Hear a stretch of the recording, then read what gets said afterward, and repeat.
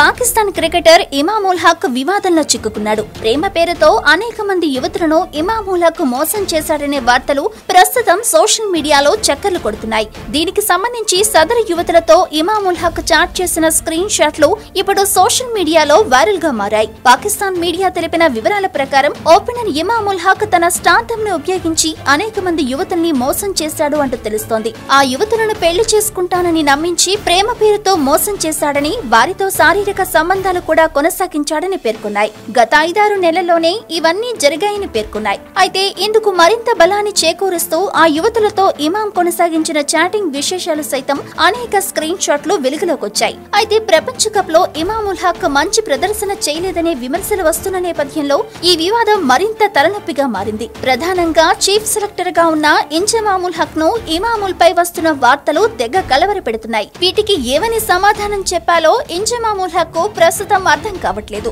ఇంజమామ్కు మేనలుడైన ఇమాముల్ వీటిపై మరి ఎలా స్పందిస్తారో మనం మునుముందు చూడాల్సిందే.